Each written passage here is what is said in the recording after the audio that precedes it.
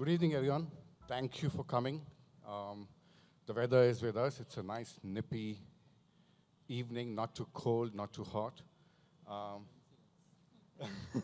Kaiwan is very, very cold. um, thank you. Um, this is a, a, an evening put together thanks to Andrea. Um, Andrea and I go back many, many years, and, and when I got to know that Andrea is now a new um, Italian Cultural Center director, it was just smile through and through on my face. Um, and now we're collaborating a lot with Italian Cultural Center. The exhibition which you see in the Central Hall has come all the way from MAXXI Museum Rome and Pippo who's the, the curator of MAXXI Museum um, architecture uh, uh, is here with us today. Um, and I'm going to now pass the mic to Andrea. Thank you all. Thank you for being with us today. Hello, um, welcome everybody. Namaste, benvenuti. Um, I won't talk about the exhibition as we are having here Pippo Ciorra who has been curating the exhibition together with other two curators. Um, I want to say just two words about um, about the fact that I, I've been directing the Cultural Center for the past three months in a country where I spent um, more than a half of my life. So it's, um, it's something very, uh, very important and very meaningful to me. And the first thing I thought as, a, as an aim uh, for this cultural center was to create a platform where Indians and Italians could uh, passionate about certain cultural, poetical, political issues could come together and developing um, a dialogue. So tonight I'm particularly happy and also feel a bit emotional because I'm seeing friends after a long time. And um, the idea was that uh, together with the exhibition, you know, exhibitions are very, they're very important moment, and they're made out of things that have the um, has a role to play, and they have to speak for something. But nothing like seeing people in real and sharing thoughts, maybe triggered by what we see in the exhibitions, or triggered by the simple fact of being together to tackle certain issues, I thought that that would have been um, the real beautiful things that this exhibition could generate. And that's where I called Kaiwan. We wouldn't, I've been already involved in the past in few in other projects. And, uh, and then slowly, by talking to each other, we came to this idea of not having a discussion between architects, but tackling these um, issues from different voices. And uh, the rest is for all of us to discover tonight. Okay.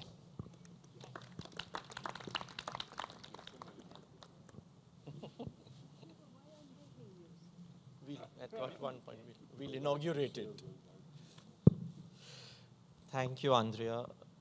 Thanks to the Italian Cultural Center for having all of us here, the Italian Embassy, and the MAXXI Museum for bringing this exhibition to India, to Delhi. And thank you, Amit and Stir, for having us all this evening here in this wonderful setting, cold as it may be for a Bombay boy, but thank you very, very much. Uh, when Andrea and myself spoke about this exhibition uh, for the first time, and although one could see a certain kind of a sensitivity and thoughtfulness uh, to an age-old question, not, not age-old in that sense, but an old question, which needs to be asked again and again, no doubt about that. But the question is, how would we ask this question of women in architecture? or women or gender and a particular kind of a practice. I think it, it raises two levels of questions. One is it brings in a whole world of histories that have dealt with the question of gender, women, the way our societies are structured, problems, how different people have dealt with them over the years, over generations, over histories. So I think gender is a, is a recurring kind of a conversation, and it, it needs to be recurring because I think with passing time, we will sort of shift, shift questions. And it's not about resolving a question all the time, but it's about keeping the question alive because it allows us to negotiate some of the difficult spaces then. But on the other hand, it is also the question of a practice, and maybe a practice like architecture. And practices itself are not stable. In fact, I think personally for me, uh, and it's also showing up much more in my life as an educator, as to what does it mean to train someone to be an architect? What is it that this person is going to have as skills, as abilities, abilities to think, abilities to act, abilities to intervene in a social space, in a cultural space, as a quote unquote architect? What will this word architect or architecture mean? And I think in, in passing, in hearing one of the interviews, I think it was, if, I'm, if I remember right, it was Beatrice Colomina who said that with architects doing many things like curating exhibitions, working as parallel lives as artists, etc., that word itself is fragile, fragile today. So I think there are, there are histories that practices, uh, practices have. And as much as there have been very important attempts in, in India, right from uh, Brinda Somaya and her colleagues, or Mary Woods or Madhvi Desai, who have tried to account for what it has meant to be women practitioners or women practice or women led practices or women in the practice of architecture, I think very often we have produced a certain kind of a roster, but one has sort of landed up in questions then that get, get repeated. They often sort of even repeat a stereotype. Does the nature of a woman practice, uh, influence a practice? Is there a question of tenderness? But then you say, am I sort of getting into stereotype roles when I talk about tenderness or when I talk about how do you deal with labor? And I think it was, it was these kind of thoughts that also brings to a broader question as to don't we all have particularities? Whether it is the question of gender, whether it is a kind of a city that we come from, whether it is a family structure that we grow out from. And I think in many ways, there are these particularities that all of us grow with. There are some particularities that are not normative, they get othered, and we as individuals have to make extra efforts to negotiate with them. But ultimately, all of us are thrown into a certain kind of an everyday life. I thought today would be a good evening to sort of extend that exhibition because that exhibition, in many ways, has very simple narrations of people's everyday lives as an architect, as being somebody in a particular country, in a particular context at some point in time. And I thought this panel discussion could precisely be that extension in person where we could have different kinds of practitioners simply talking what it means to be a practitioner today. In our engagements of everyday life, our practices become very important what is the sensitivity that we bring to our practice? What is the thought process that I bring to my practice? Do I bring a thought process to my practice as every editor or every teacher is supposed to bring? Or there is something else that I negotiate as an individual. So our individual subjectivities also lend to a sense of what may be quote unquote good or quote unquote critical practices. And that's how we sort of also landed up uh, simply putting a title that sounds very generic, but I think has, has, a lot of, has a lot of weight into it, the way you think about it, what makes a critical intervention into societies that we live today, because it is necessary that we see practice as a ground of action and not practice as simply a ground of production. And there is a difference between production and action. And at this point, I, I sort of leave my opening remarks here it's wonderful to have the curator of the original exhibition with us. And I would request him to begin by telling us the way they put this exhibition together and a particular question. Good news. We need genuine good news today. So if you could talk about this, please. thank you. First of all, congratulations to this beautiful setting and space and gallery. Like a, for a tribute to my friend Jean-Louis Cohen, who died this summer, Jean-Louis Cohen used to say, exhibitions are the most public moment for architecture. First, first of all, good news. I, am I'm, I'm very good at title. Basically, it's the only thing I can do. Uh, I, am very good, at, so if you need it, I'm very good at titles. Uh, so I wanted to call this show Good News.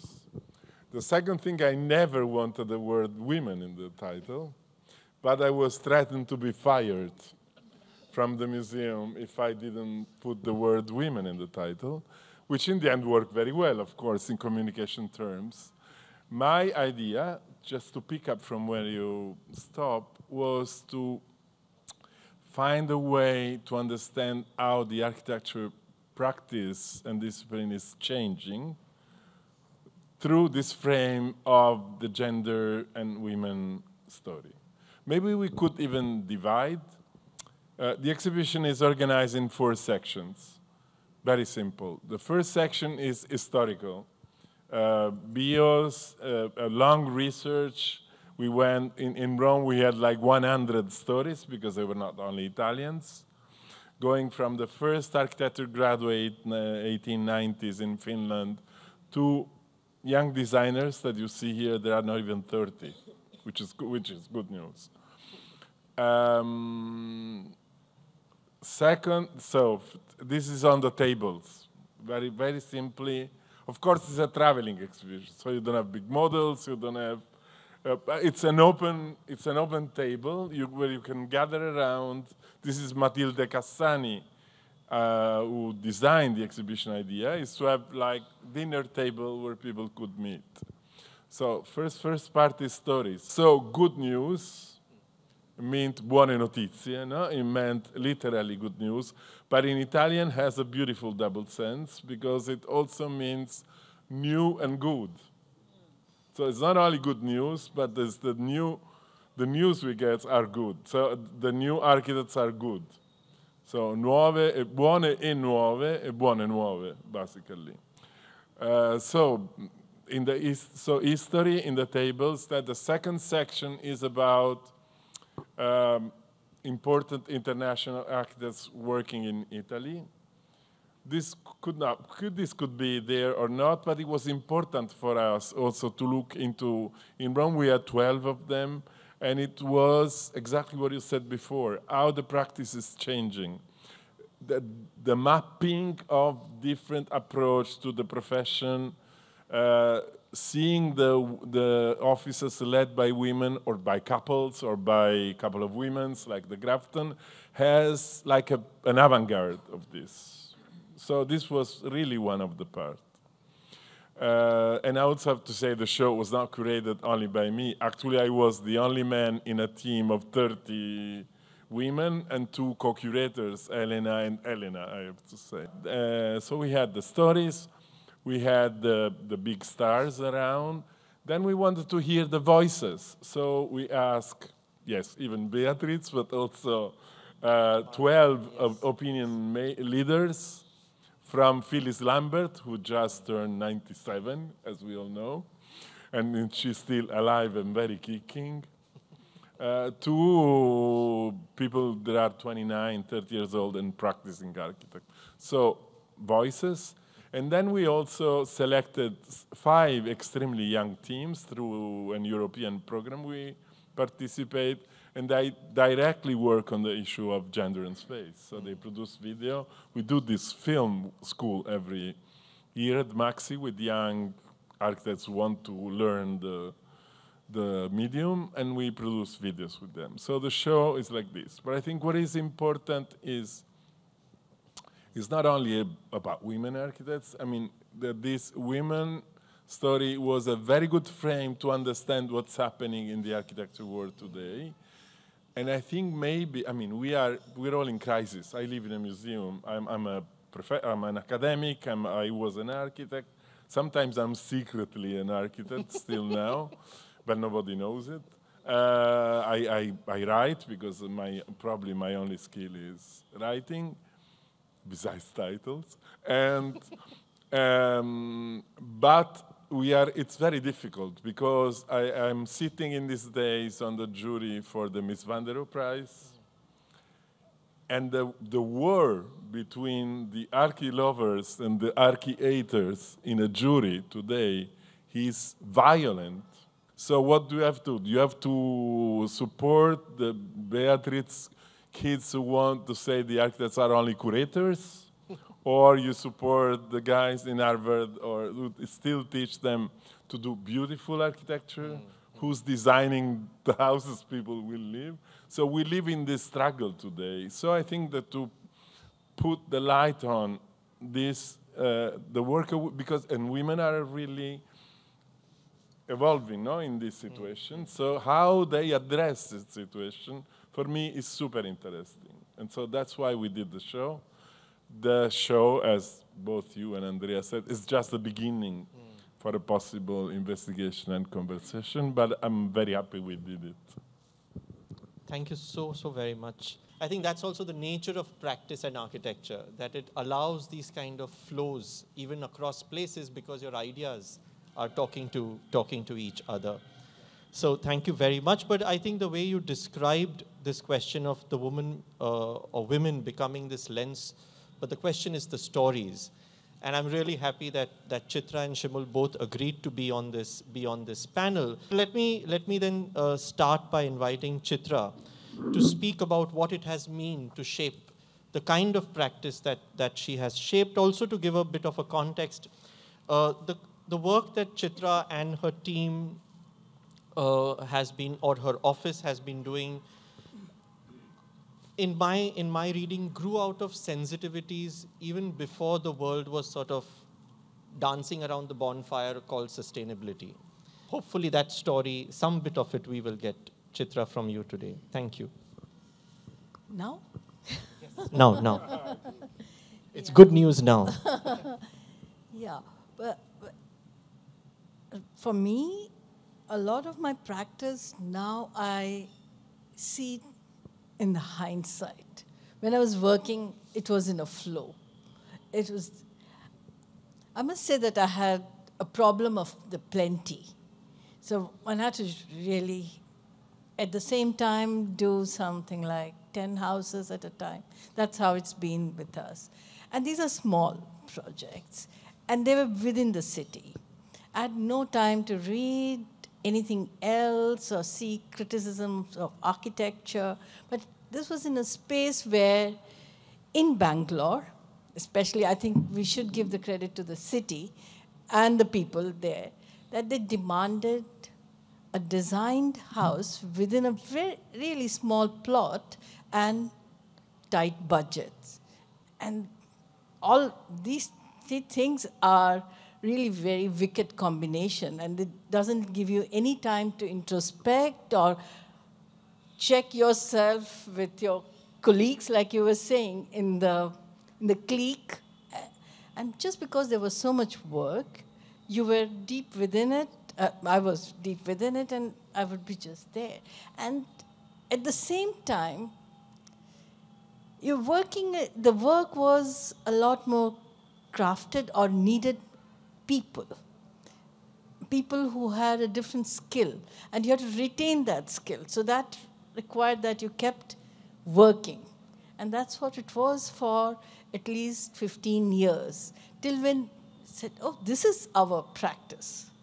This is our um, ethos, where we are working for the crises the city gives you, and then with that you design. So architecture, the kind of material we want to use, water, waste, all of it kind of came in. And that's when we also changed our name of the practice from the totally uncreative name earlier was Chitra Vishwanath Architects because we didn't have any, right? To biome environmental solutions. But yes, because we're bringing in all of this together. I think what I see as being a woman has been that didn't have this whole uh, that ego architect bit. No? So I never subscribed to Fountainhead. I could never do that. I read that, but could never think of working that. Yeah. Yeah. And so it was also sharing, sharing what's happening, the power, sharing with people, the knowledge, and basically sharing power that uh, now in the office, and I'm very happy about that because it gives me a lot of time to do other things like coming here, but that many of the, many of the clients don't even know who I am. So I can just walk in and out. They don't, they probably think she didn't serve me the tea, but that's fine. And they talk to my younger colleagues, and it is because of that, I feel it's because of that, that this practice, like uh, Kaiwan said, which works on sustainability, which that's not the word I use, it's been there for past three plus decades. Doing the same thing, trying to introspect at every moment of what we are doing. And that's been there now in almost everybody in the office. Yeah, just a quick comment before I pass on that it was beautiful that you said that you didn't have time to introspect, but there's a lot of introspection which you agreed to towards the end of your talk. That, Yeah, yeah, that yeah. there is introspection, but in that But sense, the busyness. the busyness at that time couldn't couldn't and yeah there are many things you felt that you're not part and i have been told also that that's not architecture the kind of work chitra is doing. It's not because it's a small house. It's just about 1000 square feet of house. It's made with stabilized earth blocks and she talks about water and stuff. That's not architecture because architecture was what came in ar and other magazines and you know you had to do that. But i didn't have time.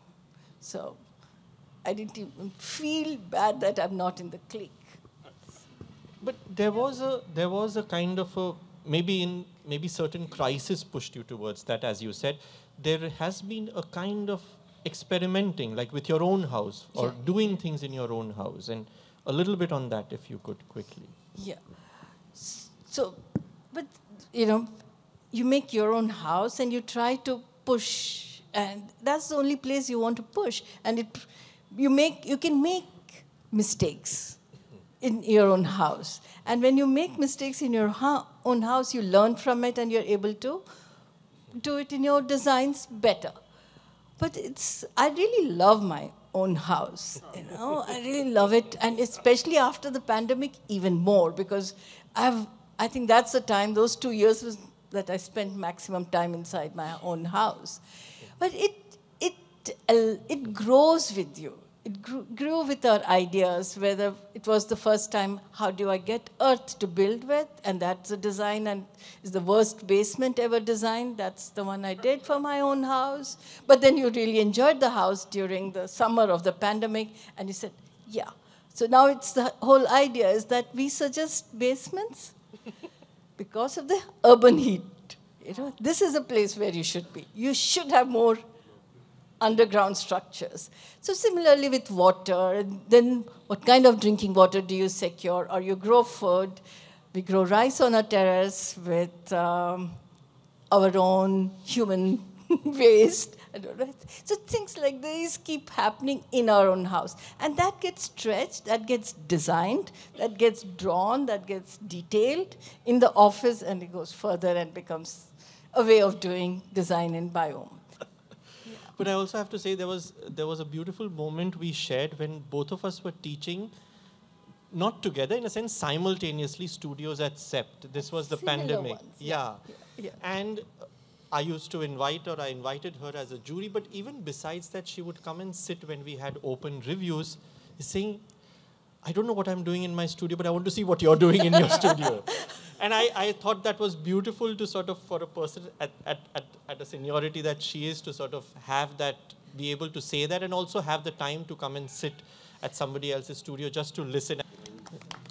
Uh, Shimul, if I can come to you uh, now, and um, in your practice, I think there is a there is a kind of slow sensitivity that I've always uh, always observed. If you could talk about how this practice has come to what it is today, and, and your approach to the buildings that you've worked on. Thanks, Kevin. You, you speak about that. You, you need to bring your child in while there's a meeting uh, going on, the child is in the frame. Um, all this has been fairly obvious and uh, encouraged, and I think that's what uh, increasingly women have seen and been attracted to, and so we've had some very, very good talent come through our doors. Um, yeah, I'd say that's more or less uh, my take on, on the practice. If there's anything more you want me to mention, Kevan, or anything you'd like to ask. Thanks, thanks, Shimul. Uh, yes, it, in a sense, uh, I'll just pick up on that, not by design, but maybe by a particular culture of the way the office runs, including the lunch, which is sort of uh, cooked in the cooked in the office or brought to the office, and people don't have to bring a dabba which again for a lot of people saves that little amount of time when you're rushing uh, in the morning, especially with a Bombay yes, kind of. Uh, yes, thanks, so, Kevan. I, I kind of left that out, but, but yeah. Yeah, we, and I've at, been part of point, that very often. so. And yeah, and not only is there a common lunch uh, that is served by the office, we do a very interesting thing at lunch, which is uh, it's called videos at lunch, and every individual in the office has a day uh, they show a video of anything that is interesting to them. It need not be architectural, and it can, you know, uh, be a five to fifteen minute film, and then we all discuss it. Uh, and I think one of the things that helped me shape my practice was deciding what to say no to. So slowly we stopped doing any kind of residential interiors. We were doing, um, and, and that was a tough one in Bombay where there's very little, I mean, that's the low hanging fruit. Um, and uh, I, I, found that clients who I had done something small for kept giving me larger projects and generally projects outside of India. And I think the fun part is each time you close a door, a new one opens up. And I think that's what happened with our practice. What I also found is that one can be fairly um, fairly subversive uh, with, with practice and, uh, and I, we've often, like you said, with the Buildings for Religious Tourism, we've often taken uh, projects that uh, are overtly religious and either tried to bring out the extremely spiritual within them or, uh, you know, attempted to somehow build community with those. So uh, just that word religion, for instance, uh, we have attempted to articulate in many different ways, other than the more overt ways that are, you know, becoming increasingly political today. Um, we, we've attempted to do that, whether it comes to a home uh, and in how a family integrates and comes together. We do very few homes, but uh, We've attempted to do that with all of our buildings. Um, but I guess, uh, Kevan, one of the things you're referring to is also the culture of the office, which is, uh, I think, highly democratic and uh, something that we, we've instituted. I mean, just two years ago, we became a, a partnership practice where three other women who have been part of this practice for the last uh, 20 years are now partners. And, uh, you know, we, we all work together. There's a lot of, uh, a lot of teamwork. Yes, it is mostly a, uh, a women-oriented practice. And I think that's, when I say it's not by design, I think it's more by empathy. Because the practice has always been known to encourage kids coming in, encourage a fair amount of honesty, um, you know, honesty just in terms of uh, if you can't, you can't make it because a relative is unwell, you, you speak about that. If you need to bring your child in while there's a meeting uh, going on, the child is in the frame.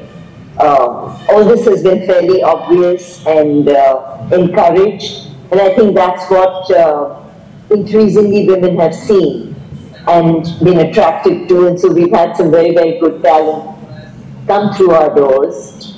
Um, yeah, I'd say that's more or less uh, my take on, on the practice. If there's anything more you want me to mention, Kaiwan, or anything you'd like to ask. Thanks, thanks, Shimul. Uh, yes, in a sense, uh, I'll just pick up on that, not by design, but maybe by a particular culture of the way the office runs, including the lunch, which is sort of uh, cooked in the cooked in the office or brought to the office, and people don't have to bring a dabba, which again for a lot of people saves that little amount of time when you're rushing uh, in the morning, especially with a Bombay Yes, kind of. Uh, yes. Thanks, so- Kaiwan. I, I kind of left that out, but But yeah, and I think part of that very often so.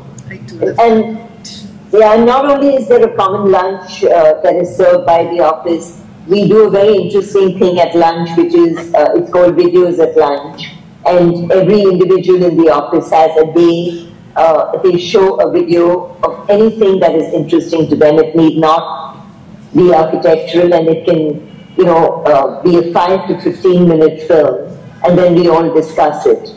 And we found that very, very useful in beginning to understand um, each one's interests and beginning to understand each one's position and being able to discuss these positions. We, uh, we found, uh, you know, several women who at some point left to start their own practices or do a master's of their own uh, had mentioned that these were very, very formative conversations for them. It really helped them to grow in maturity and thought. And I thought that was wonderful.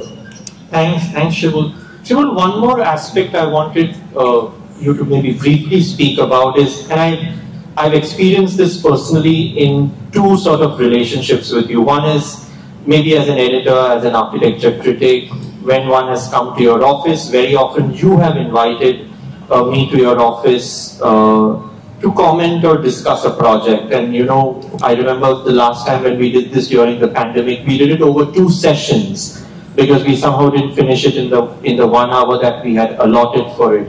So this sense of listening to what somebody is saying, even every time I came for another meeting to your office, you would quickly sort of share a project and would sort of listen. And I, I can see that also with some of your other colleagues who I'm who I've known. For example, I've known your colleague Sarika as my junior at school, and I can see the way she sometimes reflects or talk on architecture. So, uh, and then the other role that we've that we've played, uh, which maybe probably was a nightmare for you, which was getting me to write a book on on Mr. Kadri. Uh, but I, I've always sort of appreciated the role you played there, which was that that there was a space given to me as a writer, and you would sort of listen, including Mr. Kadri, Rahul, all of you. There was a space of listening that was very useful for me as a writer that you offered, or all of you offered. So uh, this question of empathy and this question of listening, if if if you feel like reflecting on on these two things. I think it's uh, it may have begun with me, but it uh, it's definitely the DNA of the office, where uh, we believe there is that something special in every single human being, and we need to simply un- uncover it. And sometimes, in the most difficult of clients, um, where we really have to dig deep. Uh, but yes, we do feel uh, there is this belief that um, kind of the kingdom of God lies in every human being, and it needs to be. Um, one needs to have a listening uh, attitude to be able to uh, bring that in. I'd also say that um, I have a huge curiosity about human beings, and maybe that, that's what helps. But I think it's really become the DNA of the office. Uh, people join uh, and either grow into it or join because of it, and those that, that don't probably don't enjoy the office as much. Uh, but there is something I wanted to say on this whole, whole thing on women. Should I say it now, or Please, please would you like to Say it now. so, yeah. uh, you know, uh, what I do feel is uh, it, it's been, this whole revelation of gender as a continuum has been wonderful.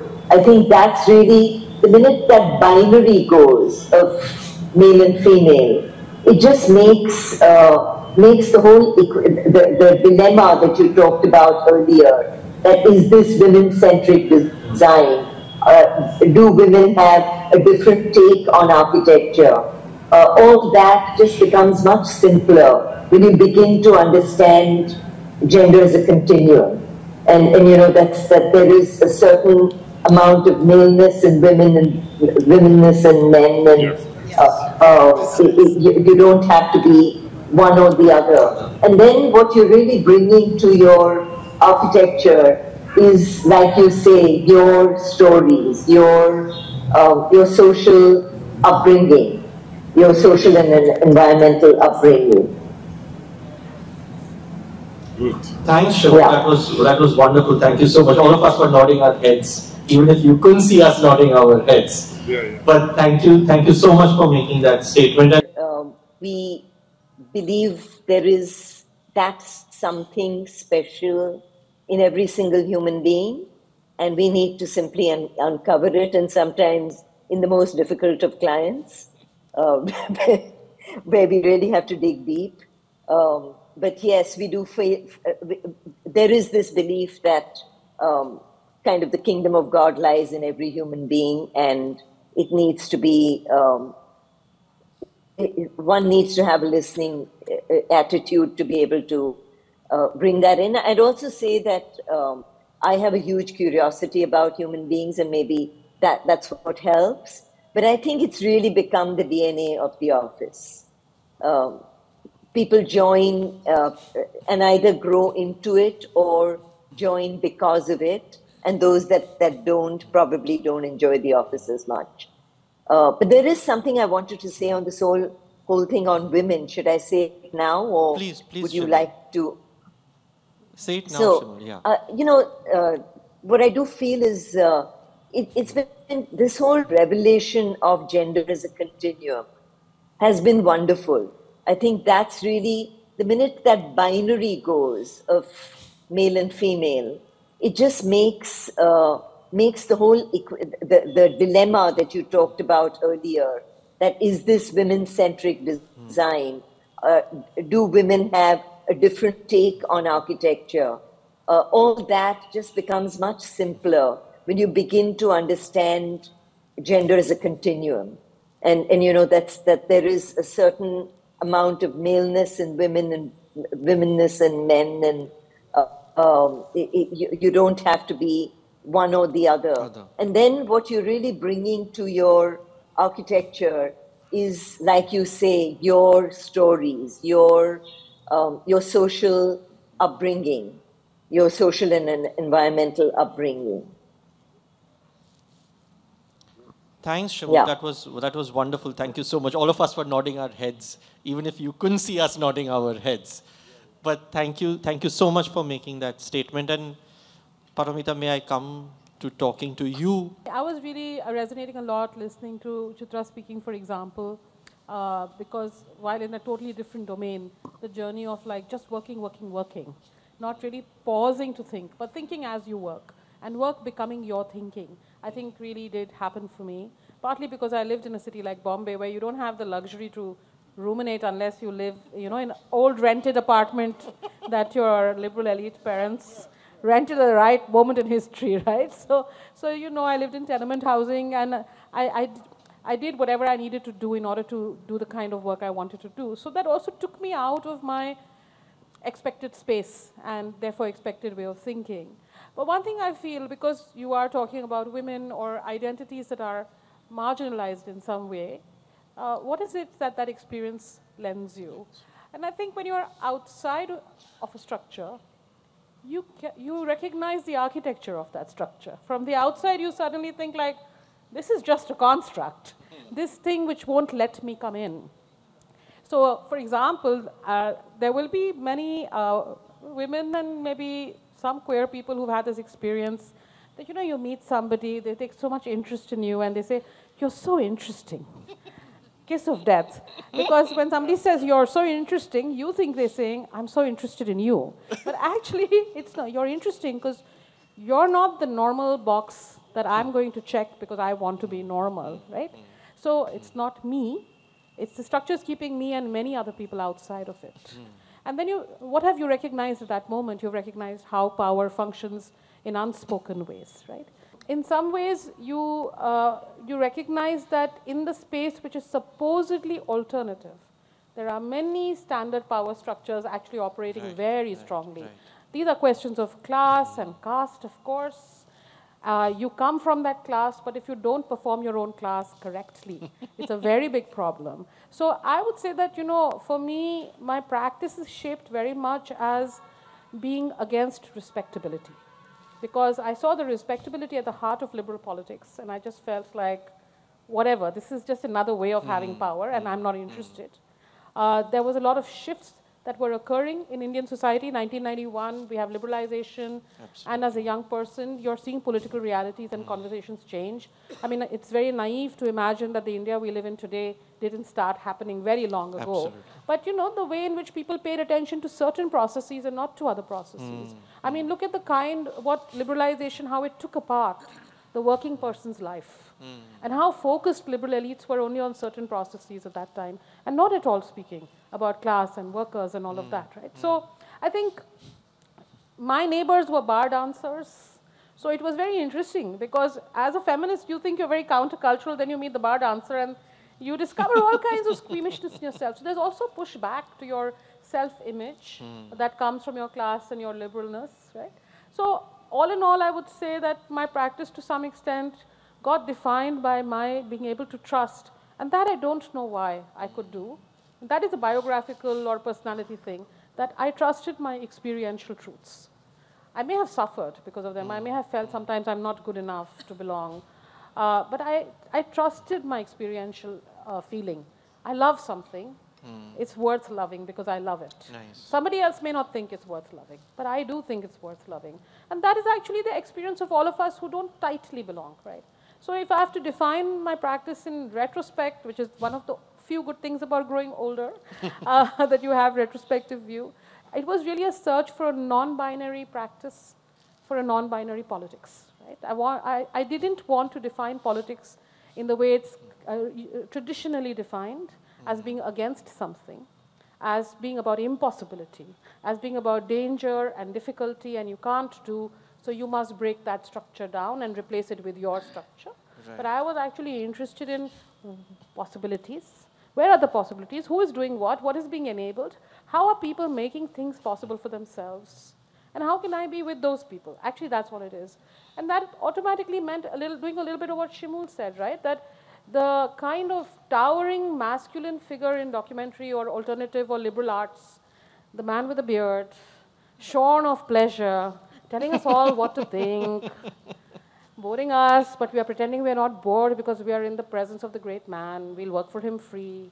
We'll get a thrill being in his presence. I didn't feel that way. I felt I'm pretty thrilling myself. You know, I mean, like I remember once being at a party, and Abbas Tyrewala, the writer. I mean, I was pretty drunk, but he, and therefore I told the truth. So he asked me this question, Paromita, you're so. I mean, the question is always, you know, you could be doing something greater. Why aren't you? You're so smart. Like people always ask me that. So he's like, Paromita, don't you wish you were writing a feature? Don't you want to make a Hindi film because it's more glamorous? So I said, no, I think I'm already glamorous. I think Bollywood will become more glamorous if I enter. I'm not sure it can handle it. And I completely meant it at that moment. Right?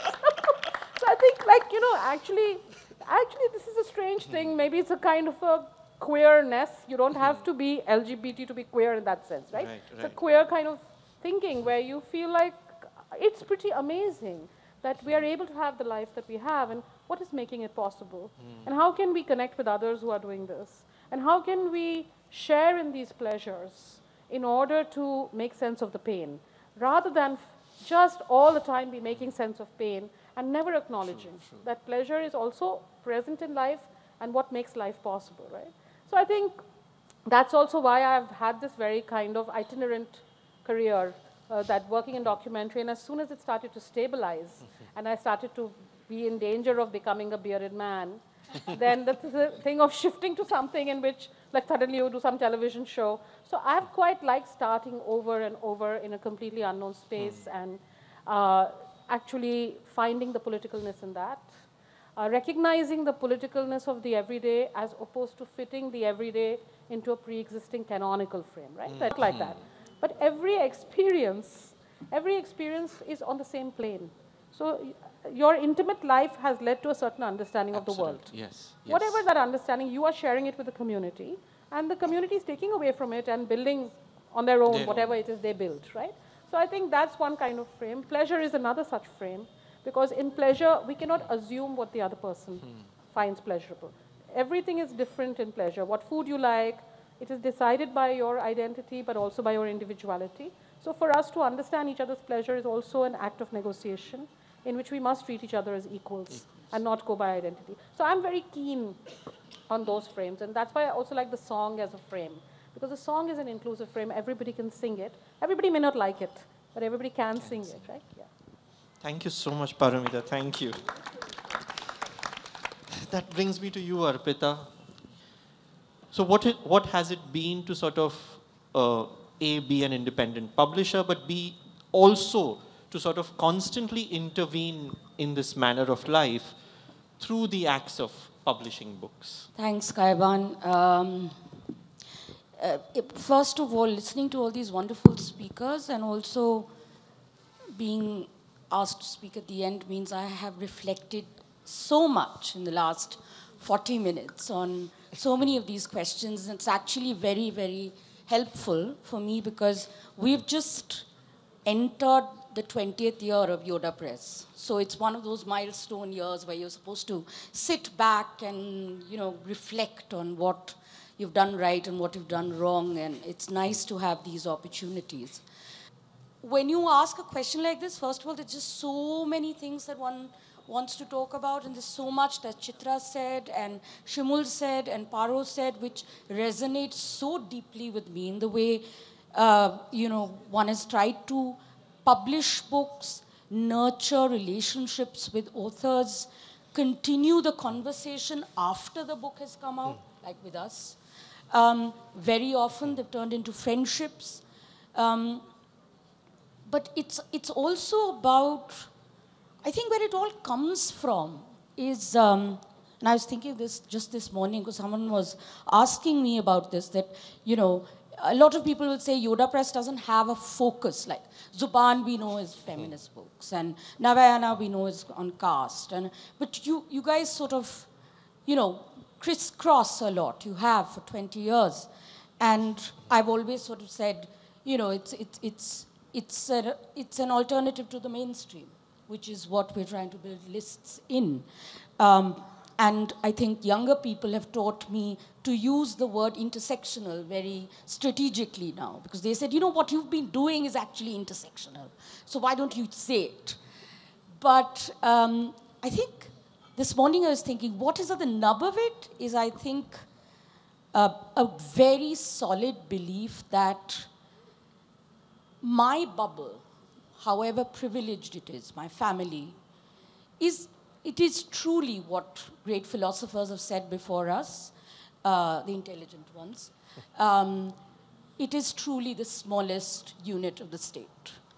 And uh, when we talk about things like patriarchy, or we talk about casteism, or we talk about, um, you know, a, a kind of having an intolerant attitude towards gender, or, or not seeing gender as a spectrum, not uh, sexism or toxic masculinity, the most comfortable resting ground for all of these things are in our families, in our homes.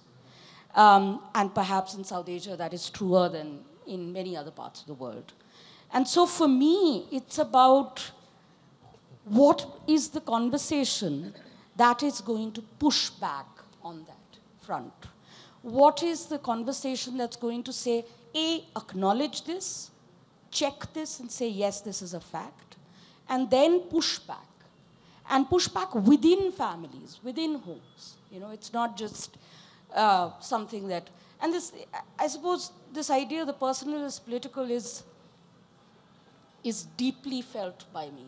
And I think it's something that, you know, uh, one of the things Shimul was saying, this idea of uh, you don't just work together, you're a community. So you are constantly also discussing um, and negotiating your own crises, your own sort of points of celebration, And that is not going to be siloed out as, oh, you don't bring all this to the office space, right? Um, and I think some of that, I mean, that's true of my uh, team as well. But I think some of that also, not some of that, a lot of that has made has played a role in how I've negotiated with my authors. One of the things that, because we built so many narrative nonfiction manuscripts, one of the things that I have people always laugh because now they mm, they expect they say it before I say it is foreground yourself. Talk about yourself. Don't try to keep yourself, you know, sort of invisible or above. Bring yourself into the narrative. Uh, locate yourself, check your privilege if you need to, or tell your story if you need to. Because what happens very often in uh, narratives that, that, that, you know, that we have all grown up with, what are considered classics and iconic classics, is you never get to see who engendered that narrative. And that, I think, that, that has, I think that is something that has always made authors and us sort of talk much more about each other's lives. That has led to a sense of spirit of collaboration, which, which is very important for me. Because I think without collaborations, you know, um, a publishing setup like mine, which is so independent, would not have survived for 20 years. It, that is, uh, you know, really key to our survival. And uh, collaboration comes out, I think, of having real and honest conversations and continuing conversations. Um, and, and that is something that's very, very important for us. Two things, Arpita. Uh, one is uh, if you could speak more specifically to what it has meant to be a publisher in the sense of reading manuscripts after manuscripts and talking to authors.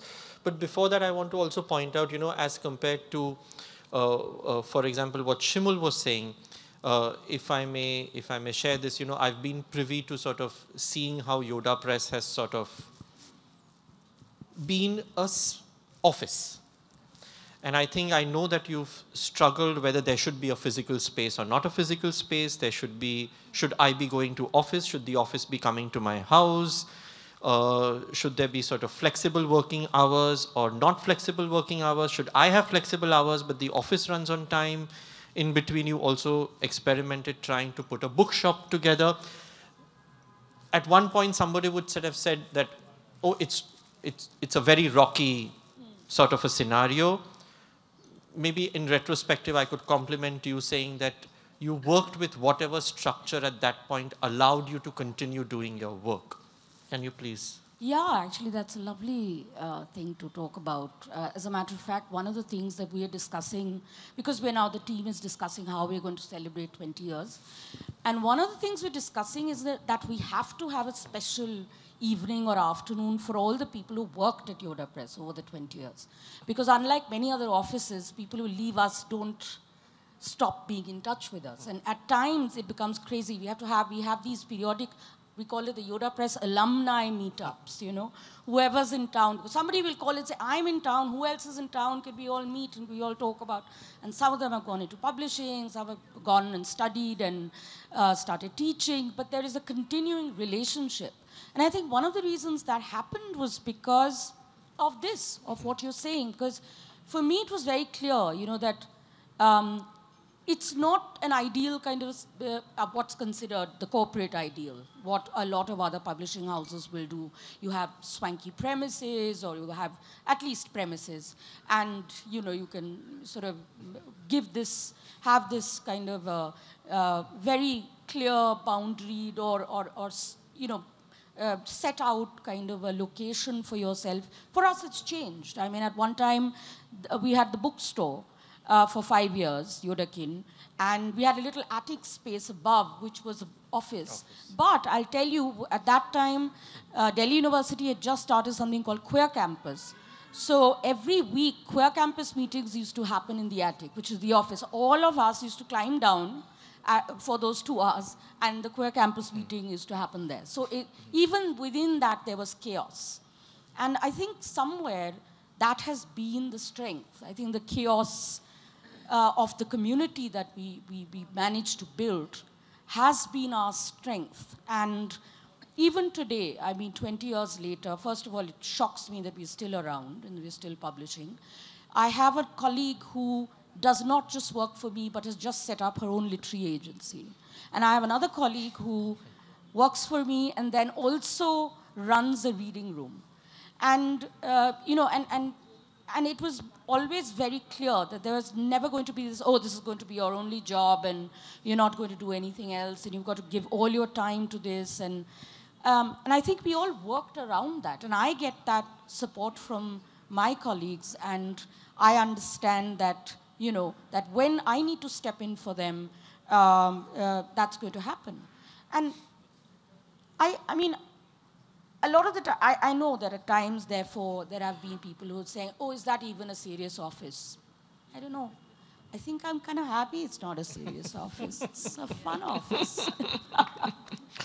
and the publisher, briefly on that publishing particular titles. Oh gosh. See, 20th year, you shouldn't ask me that question. Someone asked me, there was an interview this morning, and I uh, and they said, and I said, oh God, how many, how many can I talk about? 10 Most, best books starting no, no, with no, Alison no, Bhuleshwar. Okay, I have to say, I have to talk about yes. yours because Alice in Bhuleshwar was a, Alice in Bhuleshwar took us out to Delhi for the first time, which is Kaiwan's book with us. Till then, we'd only done Delhi authors or people who came from other you know, out, outside India and then sort of. Uh, and I remember how I found you. It was that magazine in which you were writing Council of Architecture pieces. Magazine. Council of Architecture magazine, which the only reason I read it is because my husband's an architect and he used to get that damn magazine at home, and he doesn't want to read anything to do with architecture. And I, of course, was uh, you know consuming everything. And I was like, gosh, this is a very interesting person who's an architect, but he's also talking about the social history of a neighborhood. You know, and I, this is the kind of person I'd like to publish. And then I remember I sent you some bizarre, I don't know who's the money, did we have emails even? I, I, can't like even that, remember yeah, what yeah. it was. And then we met at the tea center, I think, In for Bombay. our first meeting, not knowing what I was going to ask you to write, but then knowing that I wanted you to write. Anyway, and it was, and you know, that book continues to live and thrive and move. Um, and as I said, it took us out of, out of uh, Delhi um, for our author pool. But of course, another very important book was in 2013 when we published the first uh, partition graphic anthology Hmm, and partition this side, that side, uh, restoring partition because there hadn't Hmm. been a graphic book on partition. I don't know how that's possible even. I mean, at that Hmm. time it was unthinkable that we were doing the first one with Vishwajyoti Ghosh. And that was a very important moment. Uh, the process was excruciating. We, it was three years in the making. Goethe Institute was our partner and brilliant, brilliant partners. And, uh, and I think two more moments, if I'm allowed, I would mention. One, the big one in 2018, that was not about a particular title, but when 377 was read down and homosexuality was decriminalized by the Supreme Court, five of our titles were in that judgment. They were cited in that judgment. And I remember saying to our team, of course, we celebrated, and then I said, ha, we've not made any money, we're all broke, but this is legacy. This is, this is something that will be remembered, and this is more than enough. Um, yeah, I think I'll stop. Thank you. That was wonderful. Thank you so, so much. Andrea is showing me the time, but the setup is beautiful. I'm just imagining all the audiences loving this conversation because I can't see the audience. But I'm loving this conversation, so I'm going to still continue for another five, ten minutes because I'm thoroughly enjoying. I'm not going to stop anyone from speaking. And Andrea, now I come to you. So, one, one, one question. Uh, and you've done your number as the director of the Italian Cultural Center. We'll ask you to shift roles, but I'm going to recall a very recent conversation uh, that the two of us had. Uh, and here I think uh, it's also the kind of work that you've done as an artist, uh, as a designer. And I think the, the question is how do you bring meaning to what you do. You also deal with intersectionalities in many, many ways. But we were talking about this in the sense of what makes the question of slowness and sensitivity important to all the work we do. I think Paromita spoke of rush. And a half listening, carefully listening. Um, I could be, and I found myself in every single voice. And, um, and I think this is related to time. Um, for quite a, quite a long time in, in my life, I've been fighting, trying to either run away from rush or staying away from stillness. And I remember um, the moment in which, during, during um, actually was a retreat, this monk told me, look, there's no your time, my time, his time. so there is one time, and either you are in it or you are out. And I think that was the first time in which I started to realize that my own personal understanding of life, my way of doing things, resisting what others was expecting me for, to do, start to become important. And, and, that's where I started to see every single action of the day as part of the practice. And that's when I also began doing more things in the house, for instance. Mm. You know, mm. the pandemic was an occasion to. The lockdown was an occasion to talk to people or to friends about things you normally don't talk laundry, hmm. cooking, True. housekeeping. True. To think that all this is outside Out, yes, the practice yes. is very wrong. And so I think now I feel slow in the rush. Hmm. I enjoy the rush at times. I really enjoy, I mean, there are times in which I find myself in 12 different projects simultaneously, and uh, times in which I do one thing, and I see that it's not the quantity of things, it's actually the space, the inner space that is generated to listen to others mm. or to what life is asking you to that uh, make makes difference and uh, and I value that a lot so I don't know whether I answered yes yes yes no very very much because I think it was uh, it was precisely this question because I think we all work and think through the rush. We think through the work. I think it's it's part of that cycle that sort of produces what we are and what our what our work is. But at the same time, I think uh, what was important for me to sort of think over is to not miss out on that sense that you know uh, I read a beautiful line and you share it with a friend. You know, you send a you it, today you may just send a photograph of a from a book you're reading right now to a friend and say it's so beautiful. And that's just that moment of sharing something a beautiful. Or as I was saying, you know, architects very often design a really small detail with a lot of time and attention, which nobody's going to notice. But you have enjoyed doing that. So that sense of stability and slowness that you found in that one detail, one line in sharing, and that's very important to sort of continue who we are and what we are in, in many, many ways. And Yes, so thank you very, very much, uh, Andrea. Should we have audience questions, one or two, or we Maybe leave it to the informal? Really yes. I mean, first of all, I'm the bad guy here. This is clear. I, I only produce under pressure. so No, I no, can all of us only- work under I- pressure. The All of more us do. pressure, the best pro- production. I'm sorry, and I and I tend to do three or four things at the same same time. No, I wanted I want to play uh, one thing. I mean, uh, in in most. Um, th- first, first of all, thank you because this is a wonderful panel.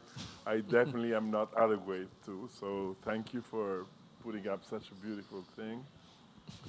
Uh, most of what we said today is about the relation bet, uh, between the individual, the community, and the whole. This is probably the problem today, how to manage this. In my, in my, in my early political times, the, the obsession was how to, I mean, it, Italy, I mean, especially our profession in Italy has always been very political. So the obsession was how to connect the avant-garde and the hmm. mass.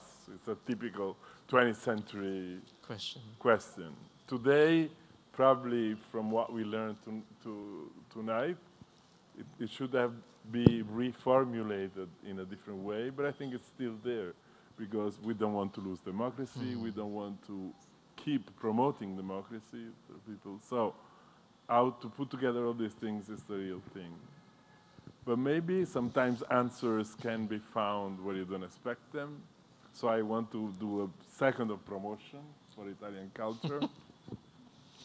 the one architect what I would like to highlight to you in the show is one woman, probably your age, working in this tiny, ugly village in Sicily, doing only single family.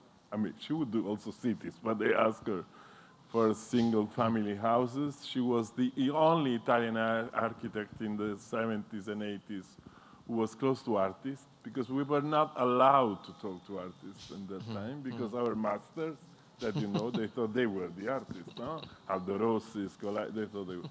So Maria Giuseppina Grasso Cannizzo, mm. in the small things she does, you can find a lot of interesting suggestions is how to deal with reality, how to deal with materials, how to deal with nature, how to deal with clients, which is the other side of society, no? We have to deal with. So thank you for allowing me this kind of advertisement thing, but look at her work because she, and she's the only Italian, I mean, this should never be told around, is the only Italian architect I acknowledge real talent to. So, good, thank you. On that note, we'll call it a day. Thank you very, very much to all the panelists. As the moderator, it's been wonderful, and for me, it's just that I want to hear them again and again, and that's why they're always there on the panels we put together. And thank you very much. It's been a great evening. Amit. Thank you, thank you, Kaiwan. I think it was beautiful. there was a lot of goodness in the conversation, and there was a lot of voice seeking news. So there is one more interpretation of good news. Um, thank you. Um, thank you for listening. Thank you for being patient. And I'm sure you're going to walk out with a lot of good news.